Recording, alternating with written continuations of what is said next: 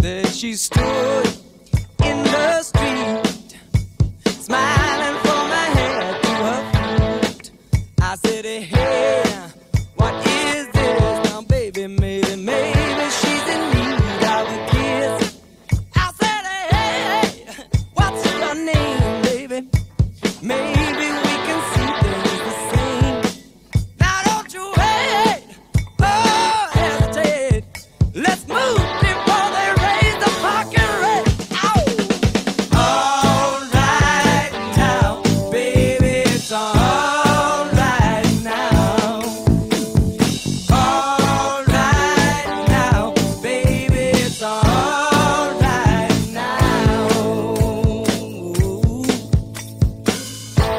let me tell you now.